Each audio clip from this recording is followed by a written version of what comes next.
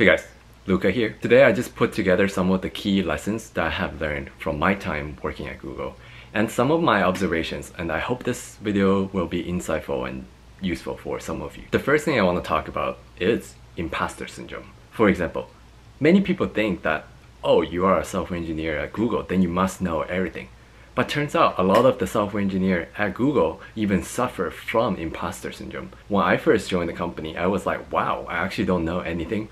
There are a lot of more people who are more knowledgeable than me. They can do tasks a lot faster than me. They know the internal systems so well. Like, it feels very overwhelming and sometimes you may be struggling to even figure out how they achieve that level. And this could be interpreted as signs of imposter syndrome because you are constantly working with a lot of smart people and then you see people who are high achievers then you subconsciously comparing to them and may and this can happen even at these big tech companies so if you're someone who's just starting off tech and who's thinking about becoming a software engineer and you think this is very tricky and challenging trust me like many people still suffer it today at these bigger tech companies and that's why continuous learning and always pushing through a lot of these uncomfortable situations will separate you from others and what pushes you forward to become more knowledgeable and skillful. So I would say like, hey, yeah, don't worry that you are not familiar with a lot of things. Like try to get hands-on and try to really always try to learn from people who are better at these tasks. And a lot of times, experience and time are what's needed to become a very skilled developer. The second thing I learned is there are a lot of times that you might be learning coding online or doing class projects or grinding LeetCode, but turns out a lot of these concepts aren't actually applicable to what you might be doing at your day-to-day -day job. For example, when you are interviewing LeetCode, it may not necessarily represent the type of team that you will be working on. Of course, a lot of the interview out there are trying to match you based on a team, but then again, the interview question doesn't apply what the uh, day-to-day work will look like. So there could be that misalignment of what you're imagining the work might look like versus what you actually have to do. And a lot of times this gap has to be filled by you spending additional times outside of work potentially to read up either on technical books or ask the tech lead or people who are more experienced on the team to ask them for their guidance. And one of the biggest resources that you can leverage is code review.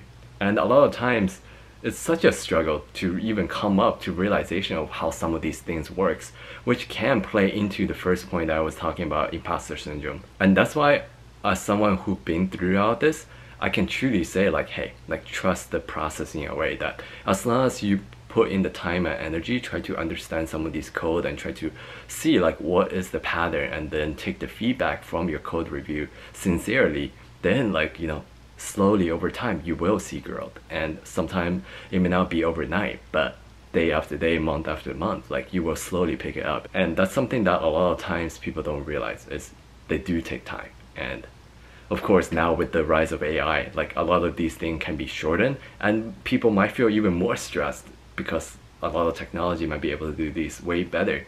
But of course, we haven't got to that point just yet. So I would say like right now, it's still very beneficial for a lot of us. And technology are here to help us to become a better developer. The third thing I want to talk about is internal tool. I always wonder like, wow, what's separating like a good software engineer versus like the rest? Like why do people think like Google software engineer is so much better? And I think a lot of it comes to the fact that Google just being around for so long that they have such amazing internal infrastructures.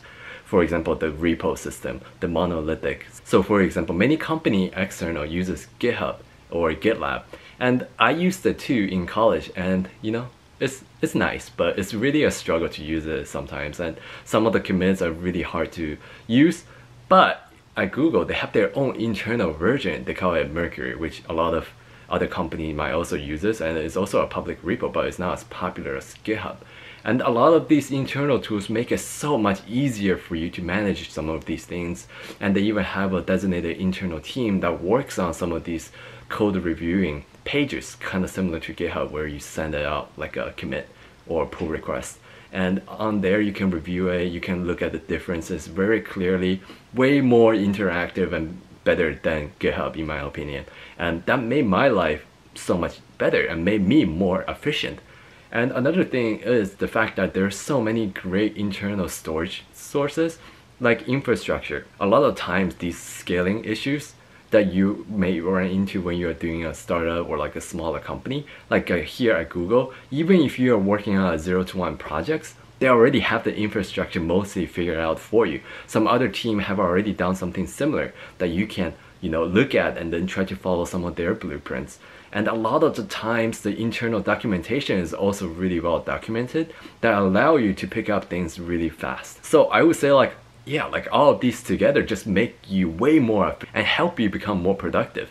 And this also could be a trap because of the fact that they have all of these internal tools. That's unique to the internal. And now if you have to transfer teams or try to use some other tools outside, it might feel different. Like for example, I took some time trying to get over the fact that I no longer have these tools because like those tools made my life so much easier. They kind of suck you in. It kind of deter you away from moving external because the fact that some of these tools don't exist. For example, like when I built my full stack application, we use Java, but we never touch Spring Boot, which is one of the most popular Java package management like framework out there. But we didn't touch any of it. And we use our internal version. Sure, it's like kind of similar, like we use dependency injection, but the way you use it is also very different and the way you set it up can also be very different from like a typical Spring Boot. So it kind of make it so like wait, I use all these internal tools, but now when I try to interview for externally, like, hey, like I never touched Spring Boot. Sure, like I can probably pick it up, but I can't say I have years of experience on this. So that can be something really tricky and deter people from moving away. And that's one aspect that I really miss about Google already. And I will make a separate video on some of these things. And the last thing I learned is design doc. like you will be surprised how many design docs I have wrote. And the fact is, a lot of times I will be writing a lot, but it's not code. It's a lot of documentations. I'm trying to capture a lot of the design that go into a feature implementation. Some of the edge cases, some of the project requirements, and trying to figure out a lot of these aspects. And then I will go into the technical skill, like how I am planning to build this both on the front end and the back end. If I am changing up the back end, like will I change the database schema? How will I make sure the communication is established correctly? Will it cause any regression? A lot of these things help you prevent issues before it's being implemented. And I think this is a very good practice, but it's definitely very expensive because you have to put in a lot of hours into writing it and then send it out to your team and they have to spend time reviewing your doc as well and a lot of times these docs can go anywhere from 10 to 20 pages depending on the size of the feature and of course sometimes it's like a 3 to 5 pages if it's like a smaller feature. Of course not all of them require a design doc but a lot of the fe feature especially if they require major changes are required to have a design doc. One, to document some of these changes so in case you leave other people can pick it up very fast Two, it also help you to make a case when you do go for the promotion because one of the biggest thing that they look at are these design docs. I think this is something that I really appreciated. Sure, like some other companies may not use this practice and they might think it's overkill because they just want you to go and write code anyways. But I still think it could be something beneficial. You don't have to spend as much time like what I did at Google, but definitely slowing down and really think about these design aspects, try to capture some of the pros cons, solution, alternative solutions, and try to think about all these. I think these are the critical thinking that's lacking from a lot of these LeetCode and then when you do do system design type of question, these are the things that help you. So I would say like these are some good practices that, you know, I truly think that Google did really nicely. So yeah, I would say these are some of the key lessons that I have learned while spending my time at Google. And now looking back, like yeah, like I really appreciate the fact that the internal infrastructure is just so amazing that it really does make a difference on a developer's day-to-day -day life.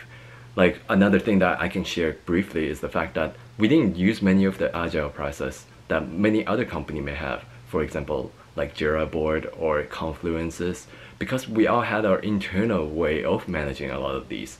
And when you do a feature, for example, a lot of times is you have this type of engineering, cross-engineering teams, and on your design doc, you write the estimate time that required to implement each of these parts. For example, how long does it take to update the database schemas? How long does it take to create the backend services, a lot of these estimates will be on your design doc. Of course, it's not set to stone, but it helps you estimate how long this whole feature might take. And then you can, of course, always update it and then push back if necessary. But this is kind of like your way of managing your own task rather than having like some sort of Jira board.